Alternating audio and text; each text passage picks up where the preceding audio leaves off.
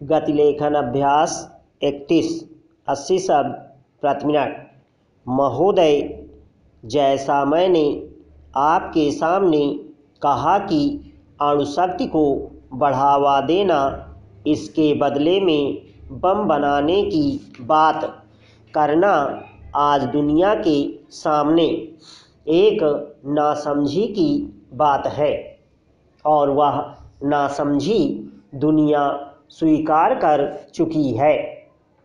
आज हमसे यह बार बार कहा जाता है कि इससे हमारे देश की सुरक्षा पर जो खतरा है, वह खतरा कम हो जाएगा। पहली बात तो मैं कहूँगा कि कांग्रेस पार्टी में यह साहस शायद पिछले एक महीने तक नहीं था। आज यह साहस आ गया है। मैं इसके लिए उनको बधाई देता हूँ। मैं इसलिए कहना चाहता हूँ कि हमारी सुरक्षा के ऊपर कोई खतरा नहीं था।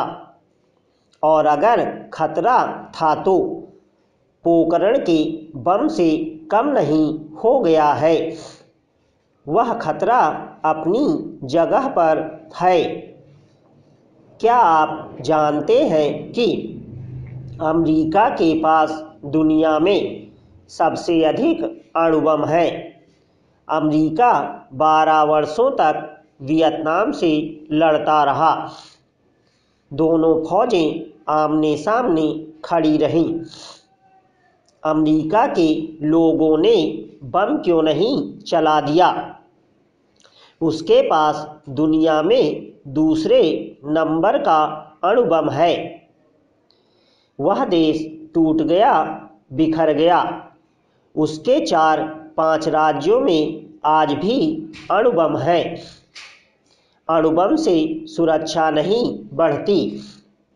अणुबम की बात करके सुरक्षा पर खतरा बंद करके आपने देश के लोगों को मनोबल नहीं बढ़ाया है। देश के लोगों के सामने आपने अपना बाहुबल पुजवाने के लिए एक काल्पनिक खतरा पैदा किया है।